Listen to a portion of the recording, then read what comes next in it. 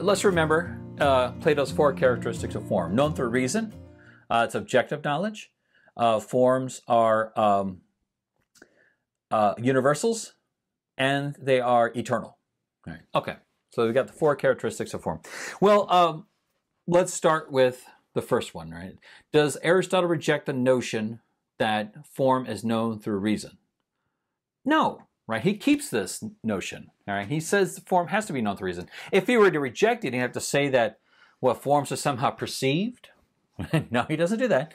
Uh, that they're known through emotion. No, he doesn't do that. Right? He uh, give tries to give an account of how uh, we know form through reason.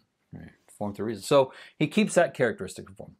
Uh, objective knowledge, right? Are is form objective for Aristotle?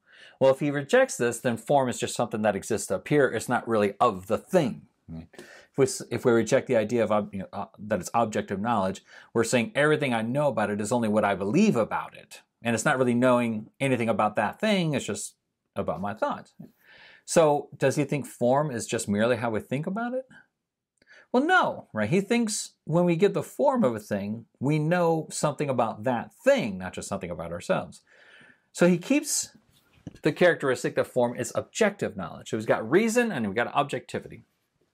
Well, what about universal? So we've got several different objects. Um, uh, Plato says when we have several different objects of a kind, say chairs, we get 10 chairs, they have the form in common. Form of chair is what they have in common. Does Aristotle reject this? No, he doesn't. Right? He keeps the idea that form is what these things have in common, not just, you know, it's not just whatever this means, but a form for each individual thing. We wouldn't have 10 chairs right? if we had, you know, under Plato's conception, we have 10 chairs and project universality. We've got 10 items that I guess look a lot like each other, but they're actually different. So now Aristotle keeps the characteristic of universality uh, with form. Right? That's still universal. Well, we only got one left, uh, eternal. Now, Plato says forms are eternal. They're separately existing from the particular things. They uh, exist in this kind of Platonic realm, whatever, whatever that's going to be, um, of just abstraction. Plato rejects this conception. He says that form uh, exists in the thing.